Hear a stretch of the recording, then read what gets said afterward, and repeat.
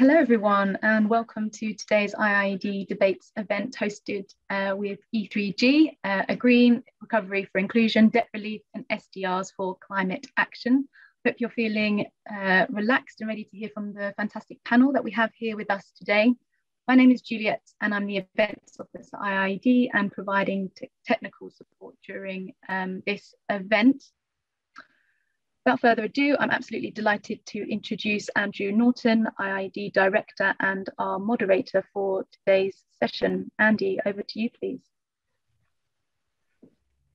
Thank you so much, Juliet, and welcome everybody. It's a huge pleasure to be here with a, a really great panel for today's discussion.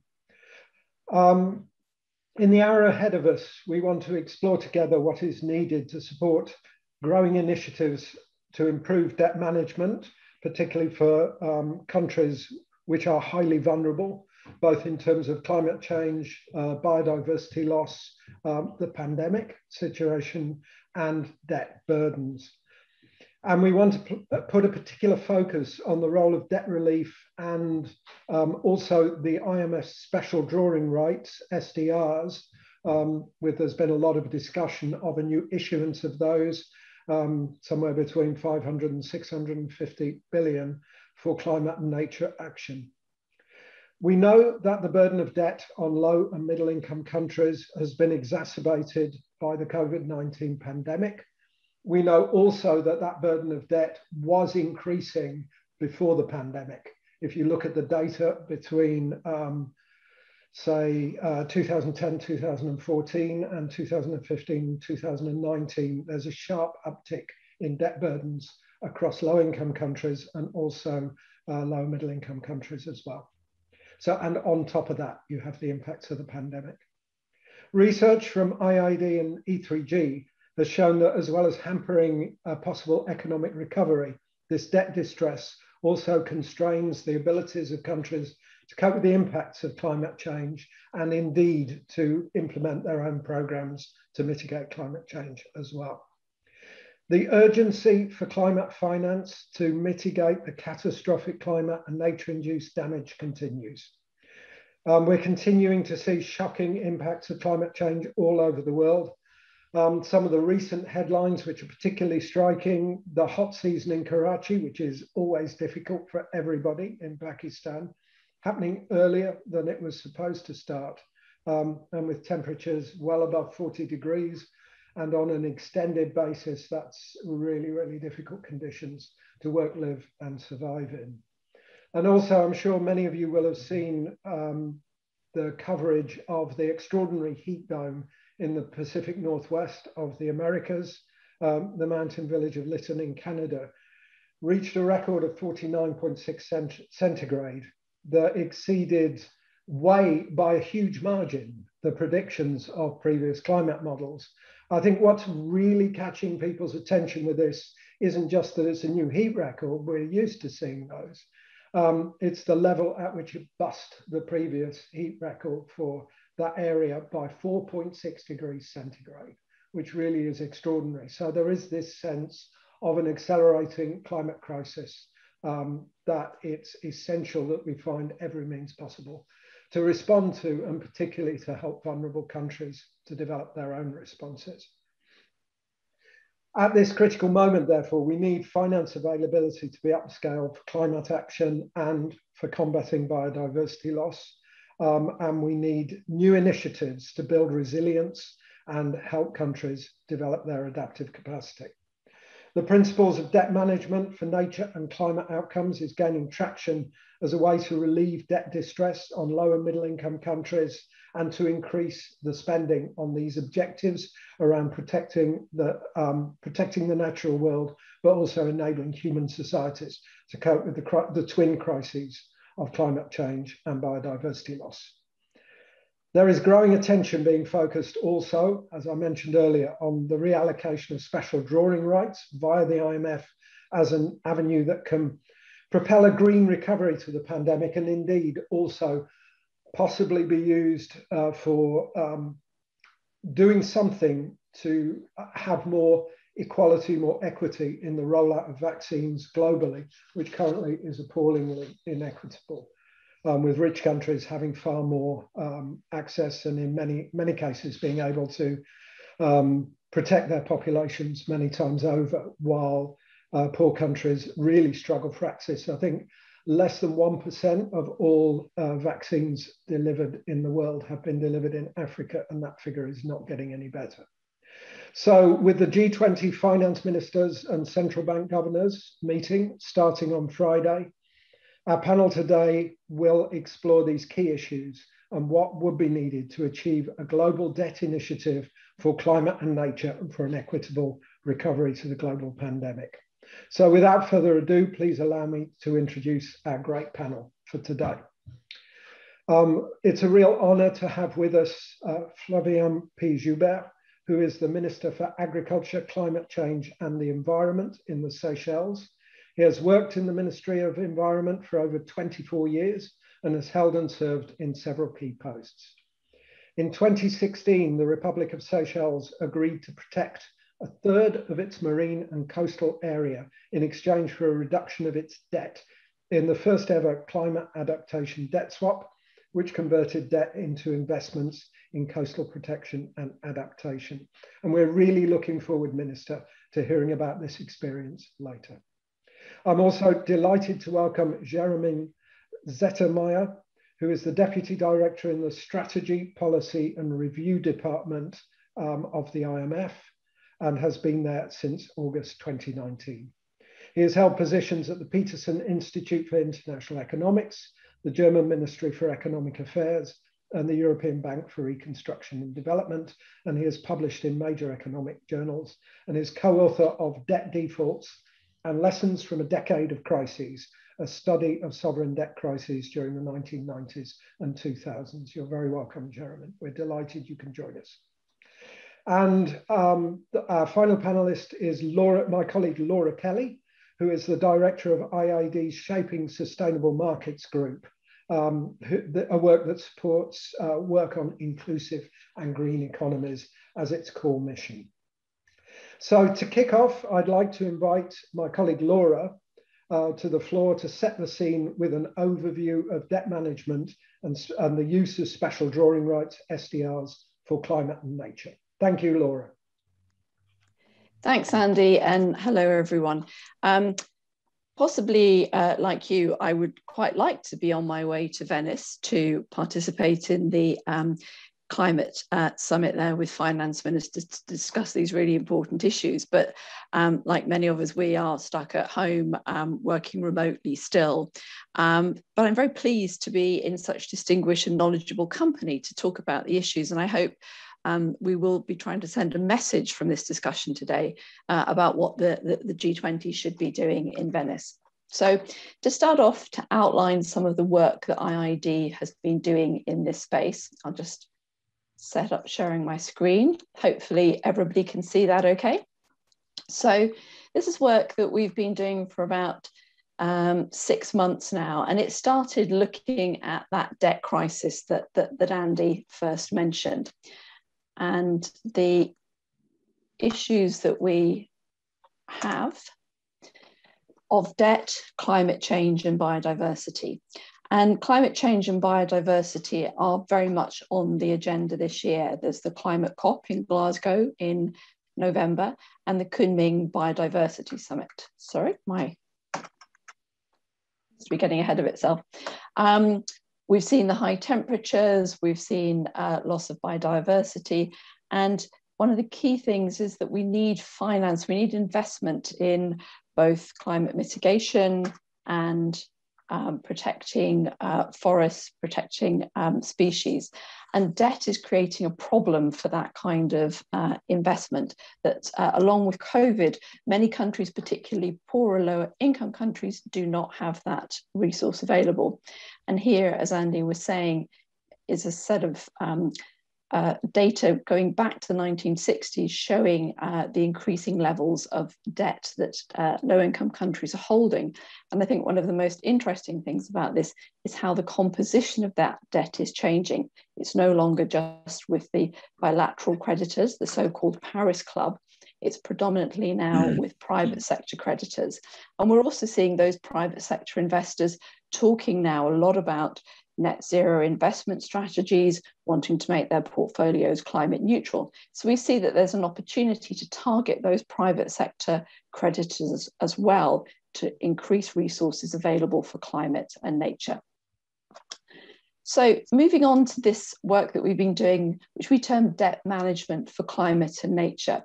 The idea is that the creditor allows the debt to be managed in a number of ways by converting to local currency, to being paid at a lower interest rate, or for there to be a debt write off, and then new debt instruments such as performance bonds that would target nature and climate investments. And that these investments would be pro poor. So we want to see inclusive green recovery.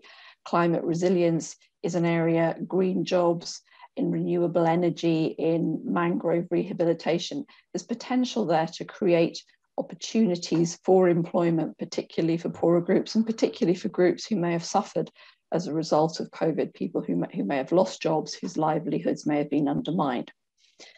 So how could you actually try to do that in practice? We've been working um, on a project with funding from the MAVA Foundation in West Africa, looking at a number of countries uh, such as Cabo Verde and Senegal, where they've got significant biodiversity and climate challenges, but they're, they're very interested in finding ways to increase resources for investment there and leveraging their debt to do that. Um, past debt swaps, as they've been called, have been much sort of smaller um, types of projects. We'll be hearing more about the Senegal, sorry, the Senegal, Seychelles experience in, in a moment.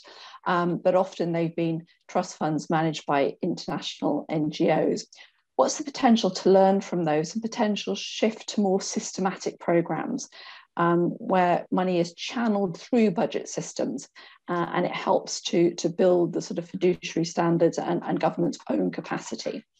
But in terms of setting this up, we have to identify what are the key targets that to identify that not only are agreed by the international community and by governments, but actually have a sense of local ownership a lot of IIED's work focuses on local participation and solutions that really work for, for local people. And the advantage of, of the, this approach would be that it would allow larger amounts of funds to be liberated in investment. Uh, it would increase um, government ownership and it also increases accountability uh, to national citizens. How does this then link to this issue of special drawing rights that we're hearing so much about at the moment? As Andy said, there's up to about 650 billion of SDRs um, could be issued soon. There's the potential that these are basically controlled by the, the, the developed, the wealthier countries, the potential to reallocate these to developing countries and to use for vaccines, as we've been hearing, to uh, address that vaccine inequality, but also for this sort of green and inclusive recovery uh, and particularly with the Kunming and Glasgow COPs to actually demonstrate more financing being made available for these priorities. So what are the things that those um, finance ministers uh, and G20 officials heading to Venice, what should they be thinking about? The next steps that we've outlined are potentially uh, a highly indebted uh, countries um, climate and nature initiative, a, a, a HICIN uh, initiative, as we've, we, have termed it. Um, the IMF, the World Bank, uh, OECD have set up a platform to look into these issues. So that, that's an opportunity for the G20 to, to support that uh, and to, to, to provide us a, a, stimulus for it to go forward. And particularly for pilot countries to, to take that are interested in this idea, such as small island developing states, Barbados, Grenada, Cabo Verde to actually take that forward so G20 finance ministers could, could commit resources to support that. Also, the G20 could send a very strong message to those creditors, particularly the private creditors and China, to join this initiative.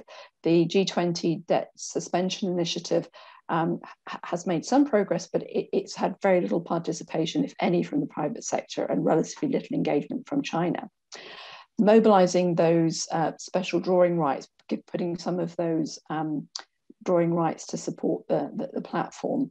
And then actually developing a, a, commitment to this, so a memorandum of understanding um, under the Italian presidency to ensure that things do go forward. So the communique that comes out of the G20, we hope will be much more robust and say some more concrete things that will help to move this agenda forward than the reasonably good start couple of weeks ago in Cornwall. Thanks, Andy. Thanks very much indeed, Laura.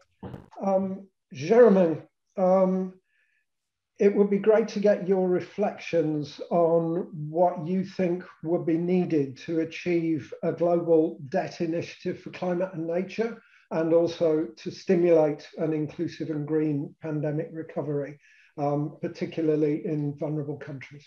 Thank you. Uh, thank you so much, uh, Andrew. So uh, it's a pleasure to be here. Thank you for for inviting me. Uh, so first of all, um, we, we fully agree that the climate and biodiversity crisis are urgent and, and must be tackled with all available instruments. And we also agree that those instruments, in, in principle, uh, should include uh, some form of conditional debt relief as well as reallocated or rechanneled SDRs. now, on, on the specifics, um, so the, the way we would think about debt relief in connection with climate and nature uh, is not, not so much as an instrument to solve a debt crisis, but as an instrument to help solve the climate and uh, biodiversity crisis.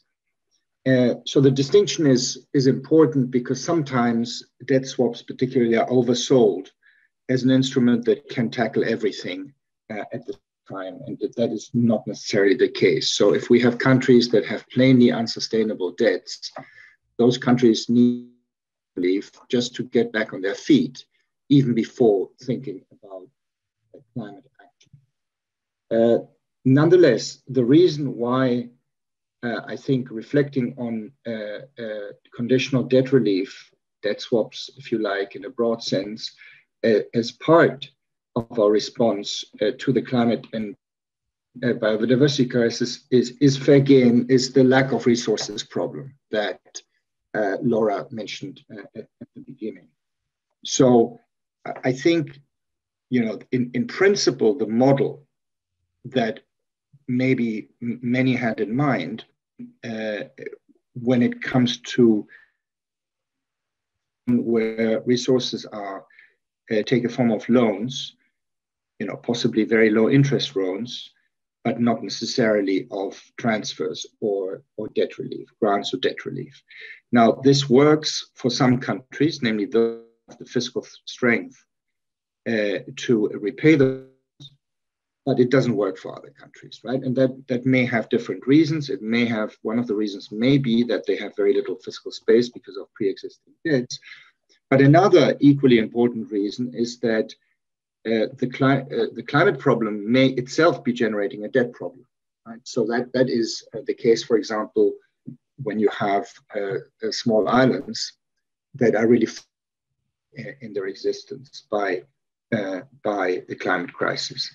Uh, and so for these uh, cases, uh, adaptation investments might be the only way to survive. And from a debt sustainability, sustainability point, they might be the wise but even after debt might still be unsustainable. Right? So that is essentially the logic for debt relief in connection with the climate and, and nature crisis. Now, in, in principle, of course, it doesn't matter whether the, if you like, direct fiscal support that such countries need takes the form of debt relief or just of grants, right? So these are equivalent instruments. And so you know, as an institution, I think we would take an agnostic view on how the fiscal support is delivered, uh, as long as it, it is not delivered in the form of loans that countries cannot repay. So, for, for me personally, the question, you know, should this be debt relief, should this be grants, is, is fundamentally a political question. Whatever works uh, better. And so, one thing to bear in mind here is that when you focus on debt relief only, uh, as opposed to grants, uh, you are, in a sense, starting uh, with the distribution of debt claims as it exists now, right? So the donors, if you wish, are the existing creditors. Uh, and um, not all countries or organizations that might be willing uh, to provide fiscal support are also countries or organizations that hold lots of claims. So the fact that the distribution um, to low income countries is extremely concentrated in the hands of just a few large creditors might be a, a, a global debt uh, initiative. So, so, so bear this uh, in mind. So uh, answering the question, you know, what is needed to achieve such a global debt, debt uh, relief interest uh, initiative. So there, there's obviously a whole range of issues. You know, we, we the, the most uh, obvious one, which uh, Laura touched on is that uh, debt swaps have a bad name because they uh, typically um, were associated with very high transactions scale. So the scalability of this instrument is, is an issue. Uh, so there, there would need to be some form of addressing this. Laura has, has put out some ideas of how, how to do that. Um, there is, uh, of course, uh, in, of country ownership. So, you know, they, these are, uh, this is conditional debt relief. Uh, so, know, in some sense, the, the creditor imposes its ideas on what to do with the freed up funds on the uh, debtor country, and this usually only works if the debtor country agrees, right? So that there is an issue there. But you know, most fundamentally, I think the issue is one of coordination across, particularly official creditors, not all of which may support this. And that has to do partly with what I stated before, namely that uh, debt relief is, is very concentrated in some countries, um, giving those, I'm sorry, debt claims are concentrated um, in, in, by, you know, in the hands of some creditors. Um, and uh, uh you know, make, making you know in a, a coordination across a a group of countries that all want to have a say more difficult. And of course, there's the general coordination problem, which is that, as always, when you have debt relief, the, the benefits of debt relief go um, uh, to are shared by by all creditors who's uh, who are you know more likely to get their money back uh, if the country is solvent, and in this case, who may also have uh, direct or indirect benefits from the effects or biodiversity effects of such debt relief but there is a free riders problem, right? So it is in each creator's interest to have the others uh, pay for this and, then um, just um, enjoy the benefits. And, and so the, this is a coordination issue that has to be solved at 20 level. Uh, and at this level, we've done a lot and tried a lot, and there is uh, a lot of political will, but uh, even the debt relief initiatives that have been agreed by the G20 um, are hard work. Uh, and the political willingness uh, to entertain yet another debt relief initiative, this one focused on climate and biodiversity, may, may be limited. So, so that is the main uh, uh, problem. Uh, and of course, you know, you, uh, the NGOs and the think tanks, you can contribute to solving uh, this problem by good case. Uh, okay, uh, then let me get SDRs be reallocated to support climate vulnerable countries. Well, I mean, fun fundamentally, there are two ways to, to do this.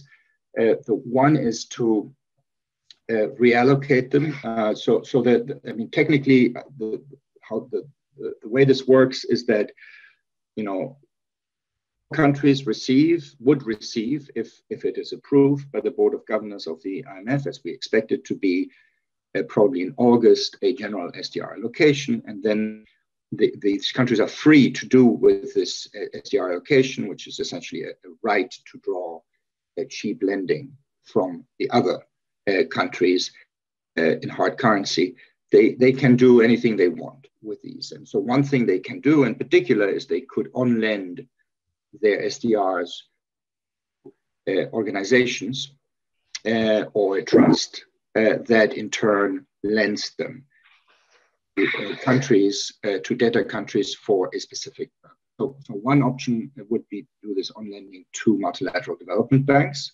strengthen their ability to do climate funding. So that is an option that is being explored. Uh, another option could be to uh, create a, a new trust of some form. So this is being managed, mentioned by uh, my managing director, Kristalina Georgieva, uh, uh, under the name Resilience ST. and so this would be, if you like, a dedicated pot of money that would top up IMF supported programs of countries to enable them to um, finance uh, and, and investments. Now, if one goes the second route, so this trust route, there's one difficulty that you have to bear in mind, which is that this has to be, in a sense, covered by the legal constraints on IMF lending. And so, one, uh, the most important such constraint is that we lend uh, to countries in order to help them deal with a temporary balance of payments need. Now, make the argument, I think, in my personal view, you can easily make the argument that large scale climate related investments create such a temporary balance of payment need, which would justify drawing on, on such a trust. But what one thing that a trust like this cannot do is project finance. So it cannot, if you like, earmark this money to a specific project and then put conditionality, you know, send IMF staff out there to check whether they use the and that sort of thing, right? The IMF is not counter to its, its charter. So conditionality associated with this type of trust would have to be policy conditionality.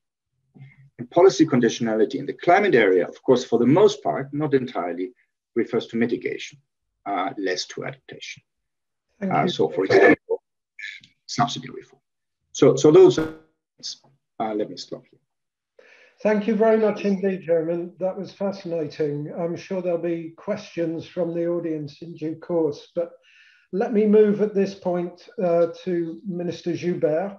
It's a huge um, honour to have you with us. Um, can I just ask you first, Minister, to reflect on the Seychelles debt for climate swap that I mentioned earlier? How successful do you think that's been? And can you give us some idea how the environmental performance of that instrument was monitored? Okay, thank you for, for having me. Um, I think as uh, you all know, Seychelles restructured, uh, converted actually its debt, 21.6 million of uh, sovereign debt in 2015 that was done. And uh, the whole um, process was uh, facilitated by the Nature Conservancy, NatureVest, an arm of the of TNC.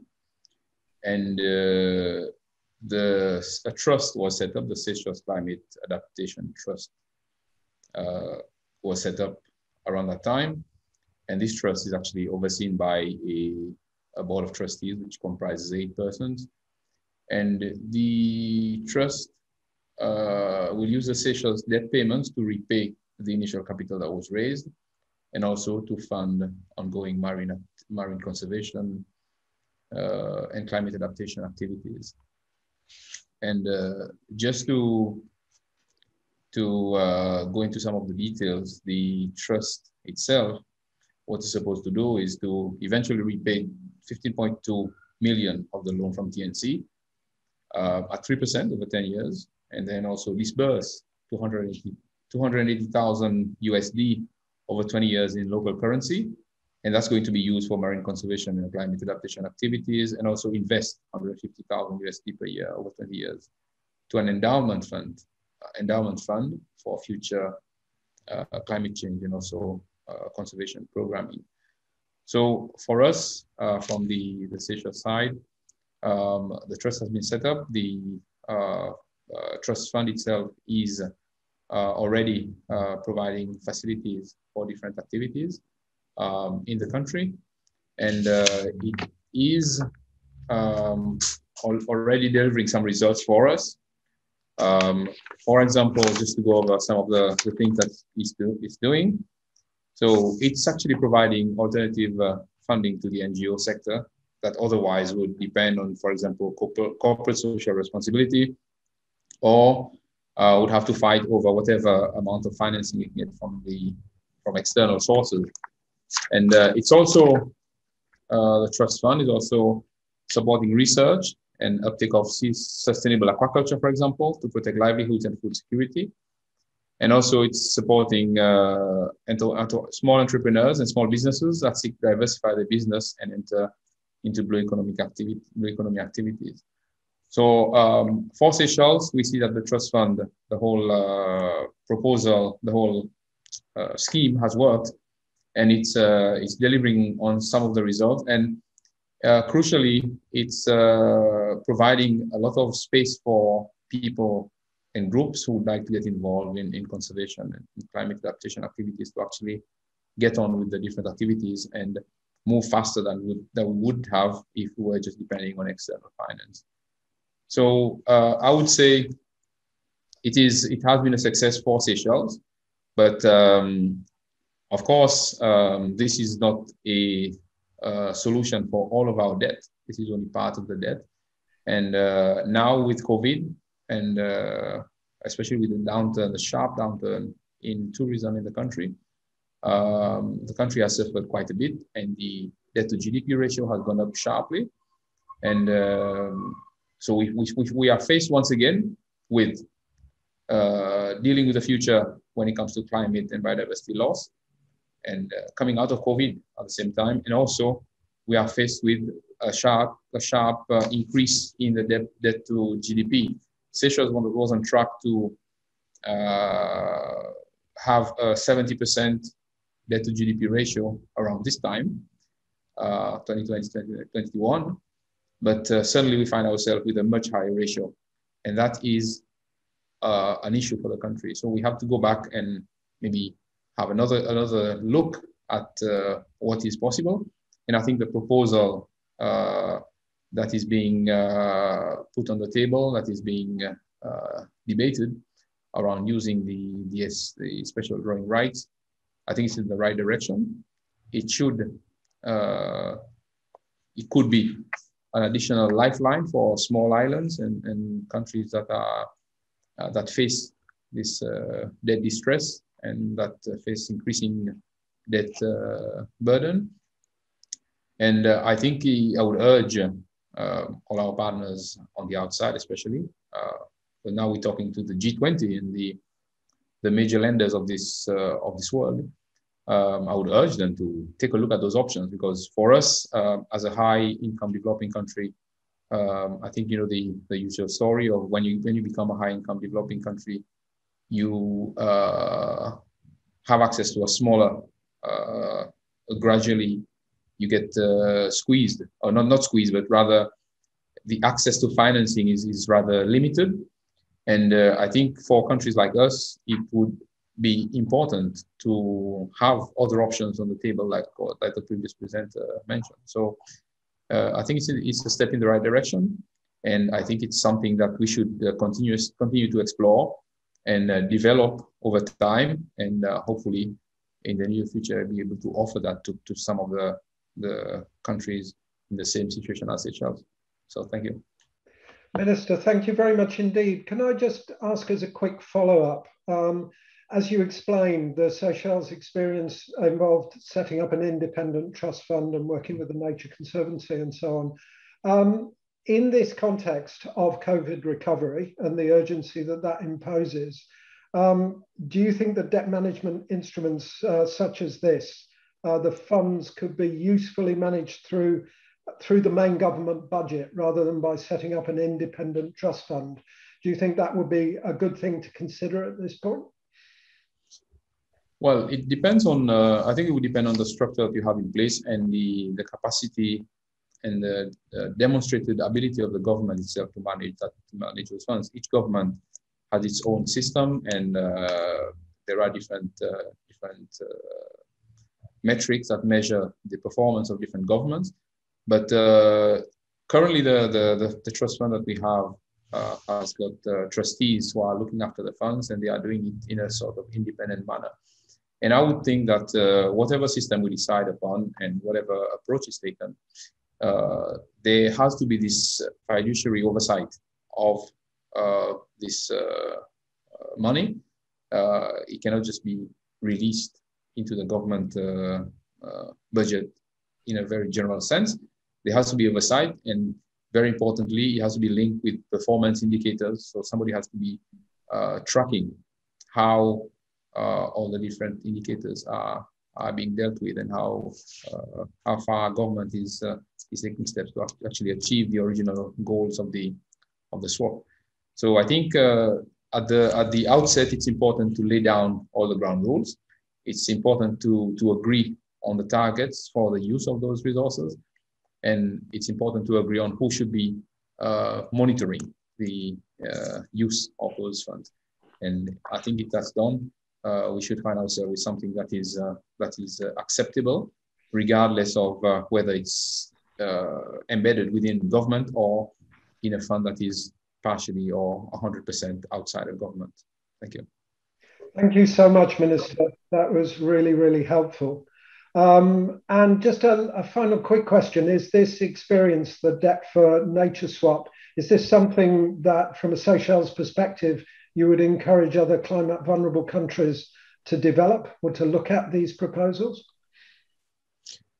Well, I think um, the Seychelles experience has shown that um, um, we have to look at uh, all forms of financing in order to achieve uh, to achieve uh, certain targets when it comes to climate and biodiversity conservation. Um, uh, Seychelles, as we developed, we, as I mentioned, we were faced with the issue of uh, diminishing access to, to international funds. So we have to look at different options. And uh, this is one option. There might be other versions or similar similar types of uh, financing that can uh, be brought to bear, that can be put on the table. And I think it's uh, it's uh, it's it's important that we have a whole menu of options for countries that can actually help us do this. I mean, uh, get the right resources to, to do our adaptation.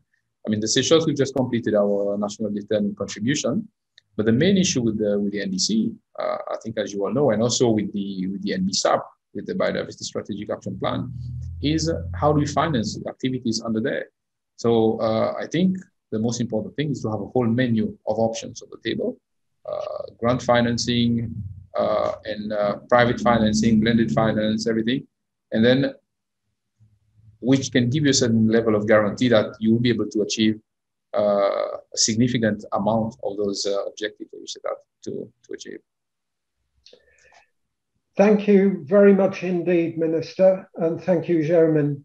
Uh, let me go now for some of the questions that have come in from the audience. This one is from Graham Gordon, and I, th I think it's, I'm going to direct it to you, Jeremy, initially. Um, the question is how can we ensure that any new climate finance, in particular from SDRs, is given as grants and not loans so that it does not add to the problematic debts of poor and climate vulnerable countries? Uh, so the answer is we can't. Uh, so anything coming from SDRs is by definition loans, not grants. Uh, and the reason for that is that SDRs are given to the member countries of the IMF um, as a form of international reserves. They're typically uh, uh, maintained uh, by central banks. And these central banks are typically legally barred to just give away the SDRs without a budgetary uh, allocation. And, and so, you know, while in principle, SDRs could be given away, and then the central bank could be compensated from the uh, government budget. This would not have any advantage over simply the government budget doing a, a straight grant. So the, the, the, nice thing about SDR, uh, the SDR allocation, the, the reason why it, it is a source of uh, potentially of, of climate finance is that there are ways of on lending the SDRs that members receive in a way that preserves their character as international reserves from the perspective of the central banks that own these SDRs. So we can do this in a way that minimizes the credit risk, that maintains liquidity, and that enables those central banks to do it. So rather than just keeping them in their vault, so to speak, they on-lend them. They get paid a very low interest uh, rate on them. Uh, but, but that is the limit. So it has to be lending at a, a suitably low interest rate. So it is more favourable in terms of debt burdens. The way there are ways of deploying it that are more favourable than the existing. Yes, debt. indeed. Yes, indeed. I mean, the main advantage to to pick up on uh, what uh, Minister Joubert said is that something like a resilience uh, uh, and, and sustainability trust would be accessible by middle income countries. So by what you know Minister Joubert referred to as high high income developing countries not at a zero interest rate, but at the SDR interest rates, which currently is almost zero. So it would provide lending at more favorable terms than countries like the Seychelles, for example, can, can typically access to other fund facilities. Right. Thank you very much indeed. Um, Laura, do you have any thoughts on the SDRs issue and this question of um, how it can really help, in particularly in this moment of, of triple crisis. Yeah, I think it is this point of the additionality. I mean, we're not um, thinking at IIED about this being in any way, um, you know, a contribution to say the um, the hundred billion dollars climate finance commitments that developed countries have made to support low-income developing countries. And I think um, Minister Joubert outlined very clearly the advantages for uh, a number of countries that are now classified as you know higher income developing countries but actually don't have access to um, concessional credit uh, lines from the, the IMF or from, from the bank and potentially are forced to, into um, the private creditor market and that's where concessionality is likely to be much less where some of the concerns some countries that um, have expressed, um, you know, not wanting to go into debt restructuring because of how um, that might affect their market access and how they're viewed by private creditors. That actually adding this into the mix really increases the menu um, of, of, resources that are available. And it is some of the countries, as, as um, Minister Joubert was saying, particularly climate vulnerable, particularly um, um, rich biodiversity that really do need access to these resources in some kind of concessional way. Thank you very much indeed. Um, Minister Joubert, uh, there's a question also about the relative balance of debt cancellation as against in instruments such as SDRs. That's from Gayla Montesanclair. Um, what's your thinking about the priorities as it looks from the perspective of the Seychelles, um, the advantages of the SDR's route versus the practicality and advantages of simple debt cancellation? Uh, thank you for that question. Um, I think uh, cancellation in itself is something that is everybody hopes for in life. So uh, for any country, I think that, that cancellation would be the, the absolutely best solution. But we all know how the world operates. We know that uh, uh, uh, the lenders at some point they might actually desire getting back some of what they, they have lent out to different countries. So it's not always possible to get that cancellation. But I still think that um, in dealing with a particular country and in, in uh, uh, coming up with a, with a package, it would be good for the country. And because it does, it does uh, create a, a, relief for the country. It, it'd be good if uh, in the negotiation you can, uh, you can agree on uh, SDR, debt conversion, but also some cancellation. I think Seychelles, before it did the conversion, benefited from some debt cancellation at some point. Uh, I can't remember the exact date. But then after that, uh, going further, you had to do this debt conversion. So uh, I would say that debt cancellation should be in addition to debt conversion, which in total can give you a package that actually helps the country in a very big way. Just taking some of the debt and converting it might not be uh, might not make a significant impact on the country itself, and it uh, might not give you the, the desired result. So uh, in order for a country to bounce back, like we have COVID now, um, we do need relief that actually is significant, substantial, and that actually has an impact on the country. So some debt, debt cancellation to the extent possible, I think should be part of the package. And uh, in considering uh, a particular package for countries like Seychelles, uh, lenders might might decide based on the history, on the economy and everything. But uh, yes, debt cancellation should play a part in the whole in the whole uh, uh, scheme of things. Thank you. Thank you very much indeed. Um, Jeremy, um, a quick question from me for you. We, we're seeing this figure, you know, 650 billion around the SDR's issuance. Um, and obviously, there are a whole series of processes that will need to be gone through before um, the actual amount that could be realized for support to um, vulnerable countries would be determined. What's your thinking about the likely hmm. volumes that might be achievable through the SDR's issuance in practice?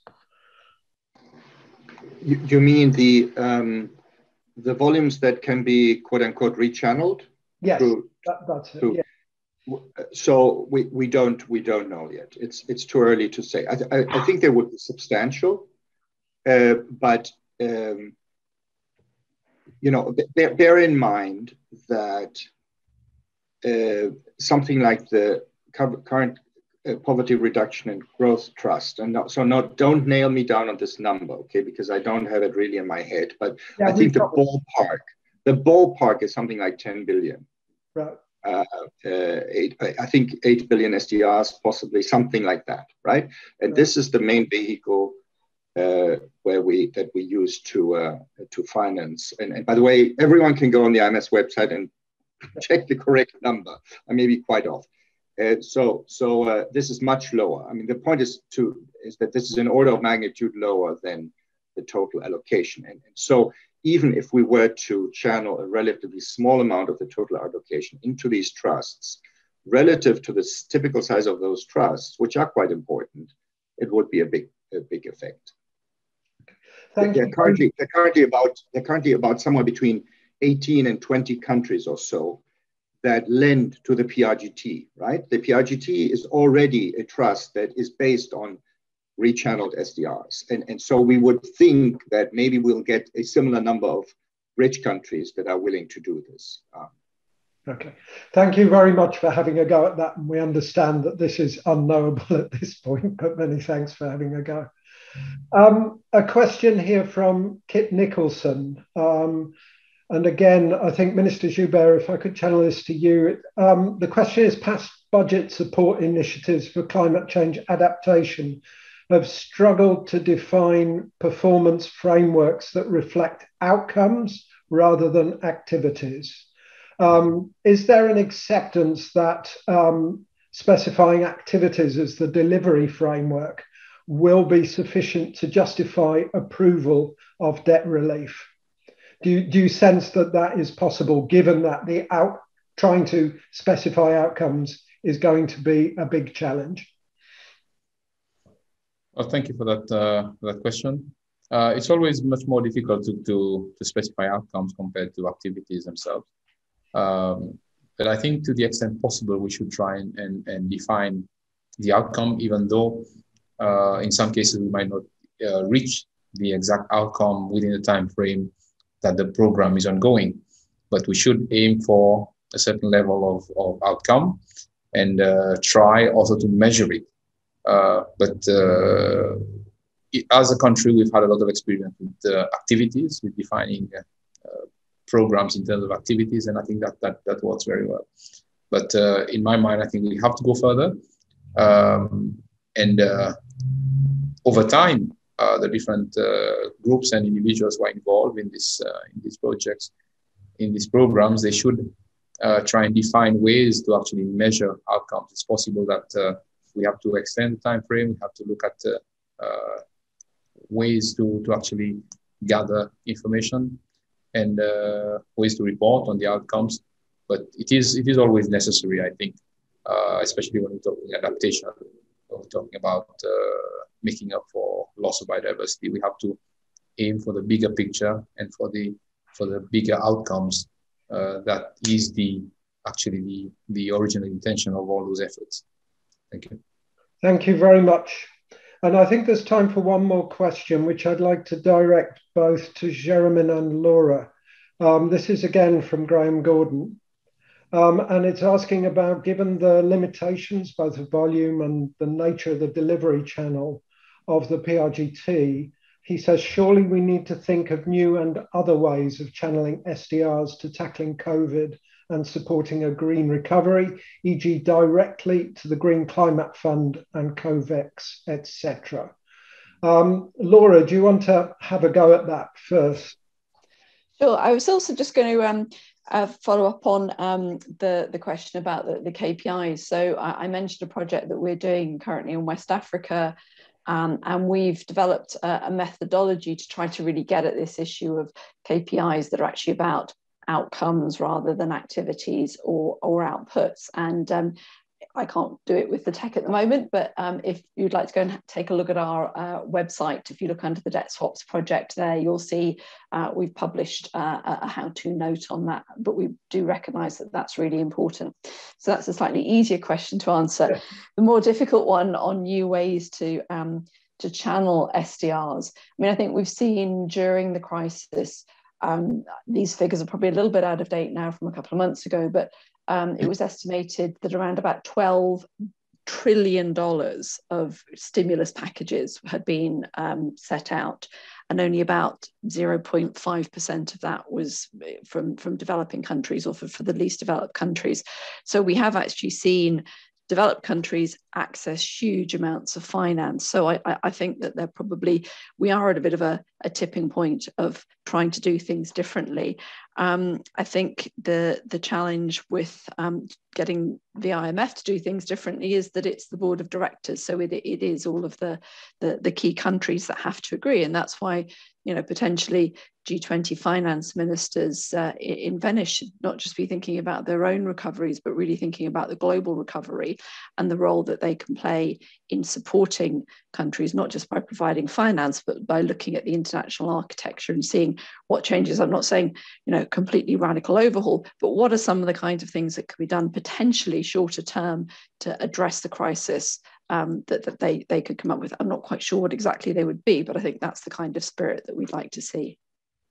Thank you very much, Laura. And Jeremy, um, what would be your reaction to that um, in terms of a broader, more creative um, approach, either to using SDRs or finding other ways of channeling um, channeling support at this point to vulnerable countries in the context of the of the recovery from COVID? No, I'm, uh, you know completely in agreement that we must find new and creative ways to to channel support, and indeed that that you know conditional debt relief should be uh, on the table. Uh, with respect to the SDR route, um, remember this is once the general allocation has happened, this is the money of our members, and and they're free to do anything they want with it. Now they, you know, could channel this money to the current PRGT. They could channel it to multilateral development banks. They could channel it to a new trust. They could channel it to the Green Climate Fund, possibly. But when, when you think of these channeling options, the important thing to bear in mind is that for, for the most part, this is money that is in the on the books of central banks that want to be able to treat these monies as international reserves. That is the fundamental constraint. And, and so this is why using IMF administered trusts is kind of a popular option because it enables us to structure these trusts in a way that meet the needs of these central banks. Whether the Green Climate Fund could do that, I don't know, right? Uh, maybe something worth exploring, but this is the reason why one is somewhat constrained when it comes to the use of these SDRs, right? The willingness of these countries to on-lend these SDRs. The, reason why, in a, sometimes this is viewed as a windfall, is because, you know, the from the perspective of these central banks, they they say themselves, look, these are just reserves on our books. Whether these reserves are used for a different purpose, why we don't need them, is of no concern to us, provided that the credit risk of these users is very low and that we can access them at any time, right? And so what we do with these trusts is we create, if you like, a a structure, a solution, a financial solution that enables squaring the circle, that they continue to be reserves from the perspective of the, of the creditor countries, the owners of the SDR, but at the same time, they can be put to good use. And that requires a lot. It's a, it's a technically complicated uh, problem to solve. Huge thanks to our three panelists. I think that was extremely helpful and enlightening. And um, it was great to have you with us. And I'm sure it will be much appreciated by the, by the whole audience. So many thanks to Laura um, for kicking off so well. Um, huge thanks to Jeromin for making time to do this and to engage in these debates. Also hugely appreciated. And particularly um, massive thanks to Minister Joubert um, in your incredibly busy time frame to make time for this. Um, but I think uh, certainly for me, it was very enlightening, and I hope most of our audience will also have got a great deal out of that. Um, it's not a simple issue. There are a lot of technical details within it, um, but it is a really compelling issue at the moment for um, addressing the climate crisis, uh, green recovery from COVID 19, and the crisis of nature loss on a global scale as well. So let me just finish by um, thanking all our participants. We had some great questions in as well, but many thanks to all of you for contributing to, uh, to the, the session. And also huge thanks to our IIED team working behind the scenes. We will share a link to the recorded session soon on our website and by email to all of the participants. So many thanks indeed. And I think at this point we can wrap up. But thank you all very much. Thank you.